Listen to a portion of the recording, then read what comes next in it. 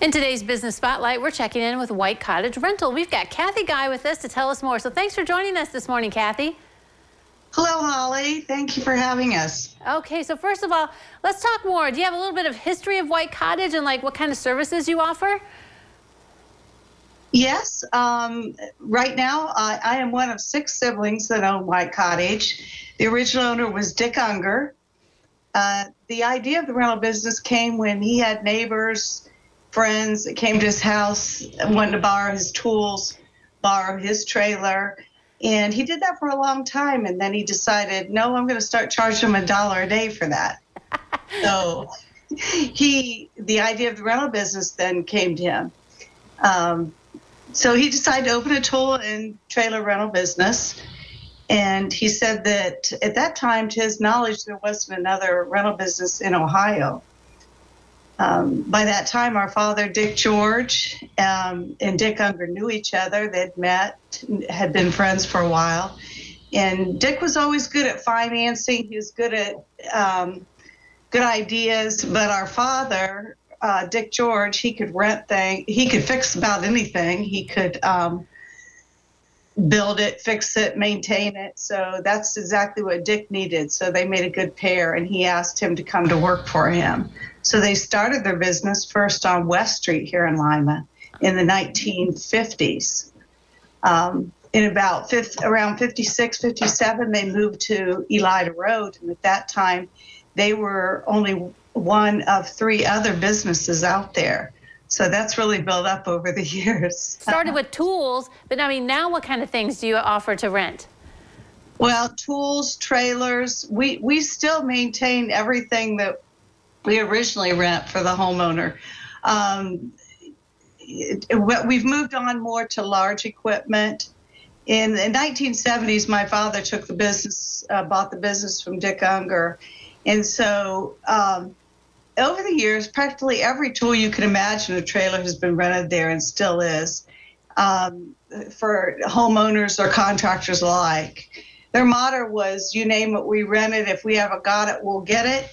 And that's basically what they did. The customers would call, they would um, tell them what they need, and if there was enough demand, then they would buy that piece of equipment and start running it.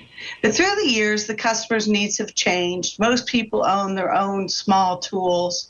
And uh, so if it's for one time use, something that you don't want to store, something you don't want to buy, it's still a cost effective to come to White Cottage to rent what you might need. Right, yeah. Um, uh, is there something that's like the most popular thing that gets rented from yeah. you, you think? A very, a very large part of our business right now is tables and chairs. Mm. We have several different types of tables that we rent. We have four different types of chairs that we rent, and we can seat um, over 10,000 people.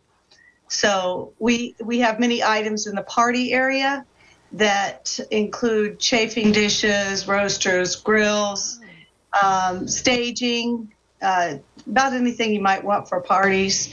Uh, we also supply our customers with linens if they want. Wow. And, okay. So, what do you think then? Do you guys have that like gets rented the least that you're like, people, I have this, I can help you out here? Well, um, actually, I, I, can't think of any single item that that would uh, apply to. Um, we we have just uh, we're a general line. We we we used to rent trucks. Now we rent trailers. We rent um, plumbing equipment, uh, electrical equipment, all all sorts of things. So there isn't too much that we haven't handled through the years and can pretty much still deliver to our customers. Um, we have during the winter months uh, the the rental business is slow, so uh, our father had started Christmas trees.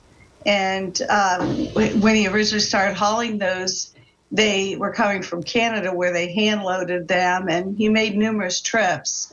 The first year that they rented uh, or sold Christmas trees, they sold 40.